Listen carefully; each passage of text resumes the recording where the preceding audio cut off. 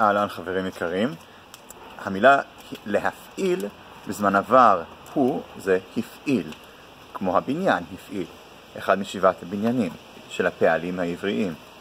השורש הוא פ"ע למד, והשורש הזה מופיע במילים אחרות שהן אפילו יותר שימושיות, כמו פעולה, אולי אתם מכירים את המילה פעולה מתנועת נוער, כמו בני עקיבא או משהו, ופעולה היא מאוד דומה לפעילות. פעילות זה יותר activity, זאת אומרת שיש פעילות בחשבון, ופעולה זה משהו שעושים בפועל, שעושים עכשיו.